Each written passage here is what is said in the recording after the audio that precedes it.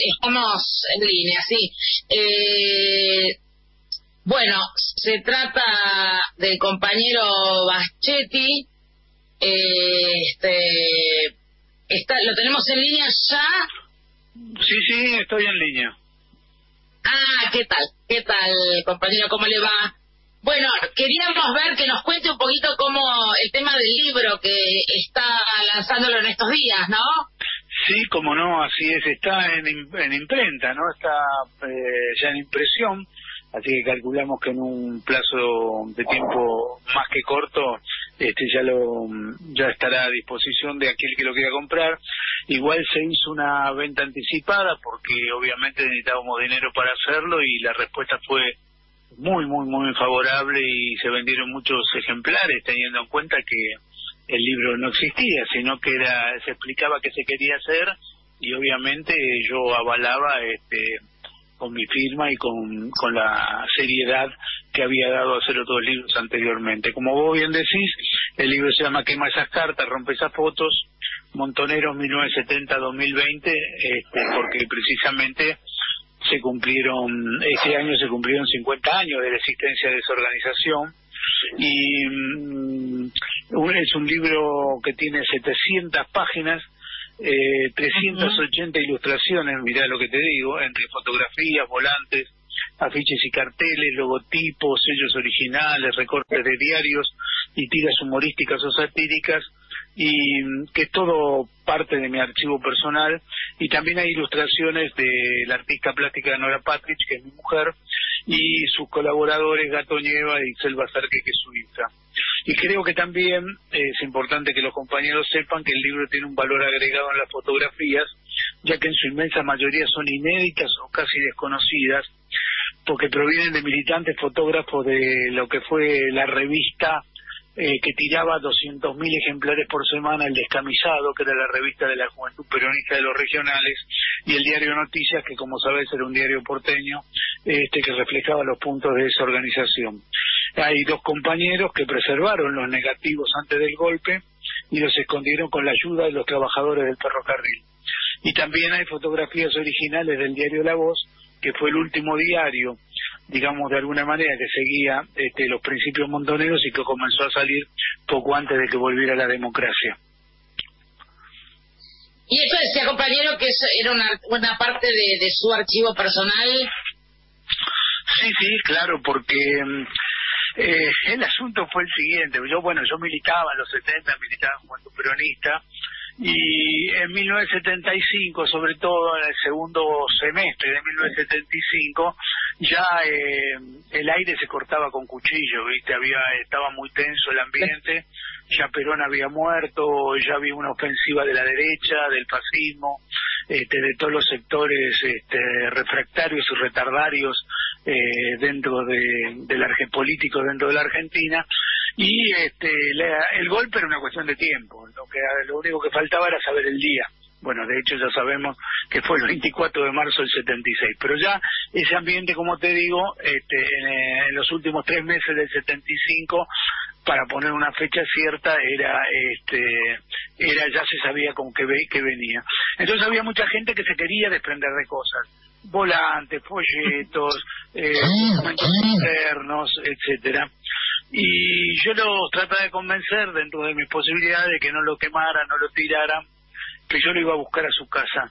Y entonces este empecé a, recuperar material, a juntarlo y después, bueno, buscar un lugar seguro para que a su vez este eh, si a mí me no o cualquier cosa este, pudiera pudiera el material preservarse y así fue como se hizo Bien, y bueno, ¿y ahora por qué ahora? ¿Qué, qué pasó en este tiempo, Roberto? No, eh, digo, 50 años es un, es un buen momento como para hacer un, este, un raconto de lo sucedido con esa organización. Este, yo este, eh, trato por todos los medios este, en el libro de, de explicar tres cosas. El libro fundamentalmente tiene tres ejes, por así llamarlo eh, tres, eh, tres aristas que no han sido contempladas hasta ahora en forma conjunta. En primer lugar, hago referencia a una detallada exposición que permite afirmar, y esto me parece que es muy importante, que la violencia política en nuestro país no comenzó el 29 de mayo del 70 con el secuestro de Alamburu y su posterior ejecución, como nos quieren hacer creer, sino que por el contrario, este acto de presentación de montoneros es la consecuencia lógica de un estado de excepción en nuestra patria a partir de 1955, con solo recordar los bombardeos a Plaza de Mayo el 16 de junio, el golpe cívico-militar del 16 de septiembre del 55, pese a que Perón había ganado las elecciones con el 62% de los votos, los fusilamientos de 1956 de civiles y militares peronistas, los planes con ínteres de represión a la clase trabajadora por parte de Frondizi, y así podemos seguir ad infinitum y creciendo hasta ese, hasta ese 1970.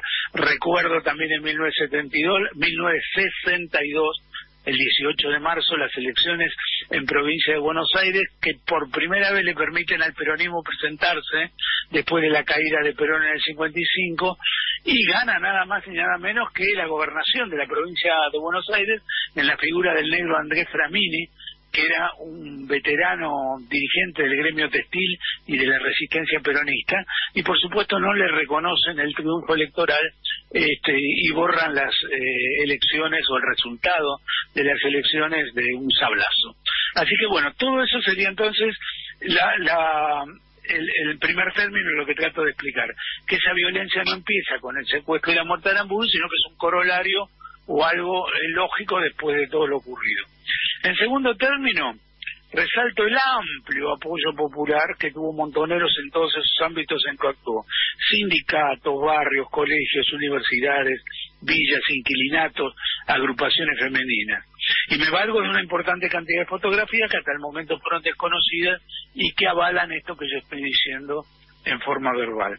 Y por último, el tercer punto a tratar a través de un trabajo de investigación minucioso, recupero un sinnúmero, más de 300 testimonios escritos en cartas de aquella época, donde en todos los casos hay un común denominador, el compromiso de cada militante de la organización por seguir la lucha con el fin de resistir a la oligarquía y al imperialismo a como de lugar, aún en condiciones manifiestamente desfavorables, teniendo en cuenta, como te digo, que la inmensa mayoría, o casi todos de esos 300, este, murieron o fueron secuestrados, desaparecidos o caídos en enfrentamientos contra la dictadura. Bueno, a grandes rasgos es eso.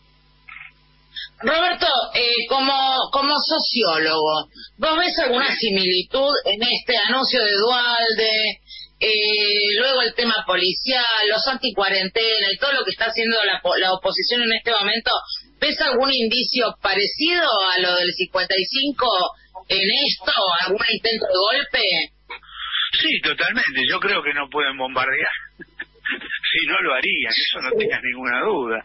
Este, hay un, es decir, acá hay un propósito que es claro, que este gobierno no termine esos cuatro años, porque saben que se puede consolidar, que puede hacer realmente una recuperación de lo, de lo económico y de lo político, este, porque por muy poco que haga, este, hay tanto por hacer que todo eso va a ser bienvenido y bien valorado por la sociedad. Fíjate que ustedes lo sabrán mejor que yo, que son periodistas, que eh, encuestas que se están haciendo con respecto al impuesto a la riqueza este, tiene estándar muy alto de aceptación del 62, 65% o más, e inclusive en sectores este, que no son precisamente ni, ni de izquierda, ni peronistas, ni populares. Eso implica, digamos, que hay este, un cambio este, o, ambiente para un cambio y esta gente no lo va a permitir bajo ningún motivo. Y evidentemente están haciendo todo lo que pueden para este, destruir este gobierno este, nacional y popular. Eh, Roberto, ¿cómo estás? Acá, Felipe Oficina. Eh, contarle a, como Bien, muy bien. Contar a los oyentes que vos, eh, bueno, bancaste mucho cuando cuando Luis estuvo preso, va, sigue preso, pero sí cuando estuvo en Ezeiza, inclusive recuerdo que, que le hiciste, le acercamos un libro tuyo, Tercer Mundo y, Tercera Posición, eh, con dedicatoria y todo. Eh, es importante remarcarlo porque va dentro de la militancia, mañana se cumple también un nuevo aniversario de golpe a a Perón, ¿no? Hay, hay como mucho mucho significado dentro de, eh, de, este, de este día y, con vos acá al aire, así que bueno, quería destacar esto y, y saludarte porque sé que siempre has estado bancando en todo momento.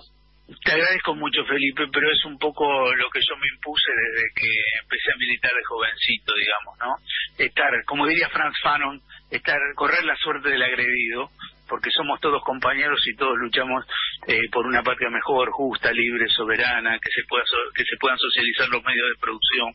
No sé si nosotros lo veremos, pero lo que no podemos hacer es eh, eh, hacernos a un lado. Y además quiero mandarte un, un, caluroso saludo de un amigo común que tenemos, el murguero Facundo Karma. exacto, exacto. Otro gran compañero peronista. Gracias, Roberto. Correcto. Roberto, te comprometemos para que nos mandes Zapateando Barrios un ejemplar de quema esas cartas, rompe esas fotos y sacamos en el mangueo, entramos en el en la del mangueo. Sí, mirá, este, con mucho gusto yo se lo voy a hacer llegar y eso seguramente será motivo de que nos podamos explayar este, un poco más sobre sobre el libro, ¿verdad? Porque me parece que que lo amerita, porque no hay nada sobre el tema. Yo siempre digo, no va a ser, no es el primero ni va a ser el último de los libros, pero sí que hay un plus y un valor agregado en lo que estamos mostrando, este, que nunca se mostró hasta ahora y que va a cambiar totalmente el sentido este, de la explicación o de ver ese fenómeno eh, que fue Montoneros en la sociedad argentina. Bueno, te agradecemos mucho tu participación y bueno, ya, ya quedas comprometido. Antes de cortar, ¿cómo se consigue el libro, Roberto? Sí, este, eh, dame un segundo, porque vos sabés que con todas estas cosas modernas de Instagram y demás, este, uno está, yo estoy como turco en la neblina, pero Nori, ¿cómo se llama la, eh, el, donde pueden escribir el correo electrónico para interesarse por el libro? Acá la tengo a, a Nora al lado mío. Es un correo electrónico. A ver, espérate, dame un segundo. Sí, sí. La editorial es Girones de mi vida, le decimos a los oyentes. Sí, editorial Girones de mi vida. Este, a ver, Ahí te es fácil, mira, Editorial Girones, todo junto con minúscula y con J Girones. Editorial Girones. Bien. Arroba, sí. que se escribe gmail.com. Sí. Muy bien. Muchas gracias, Roberto. Y, pedirlo. Te agradezco infinito, eh, infinitamente y por supuesto, eh, cuando tengamos los ejemplares, eh, pandemia de por medio, te haremos llegar un ejemplar. Muchísimas gracias.